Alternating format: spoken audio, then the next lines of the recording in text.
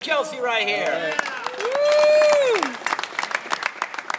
Kelsie. Kelsie started coming because the Greenfield started coming.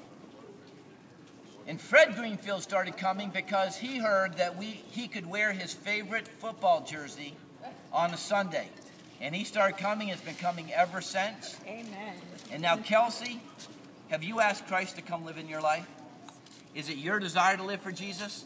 Amen. Why you grab my Kelsie, my sister, upon your profession of faith in Jesus, it gives me great pleasure to be able to baptize you in the name of the Father, the Son, and the Holy Spirit, buried in the likeness of his death.